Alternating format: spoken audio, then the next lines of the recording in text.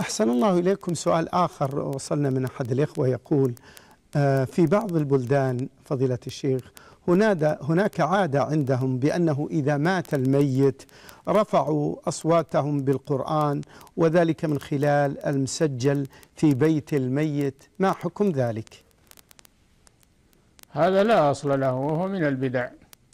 ولا تجوز قراءة القرآن بمناسبة موت الميت واستقراء واستئجار المقرئين.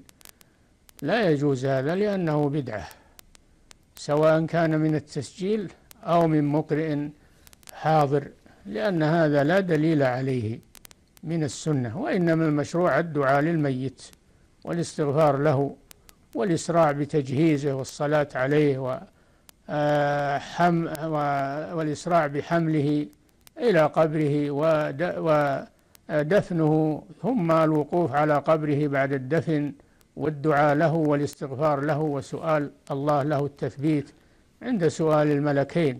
هذا المشروع لنا مع الأموات.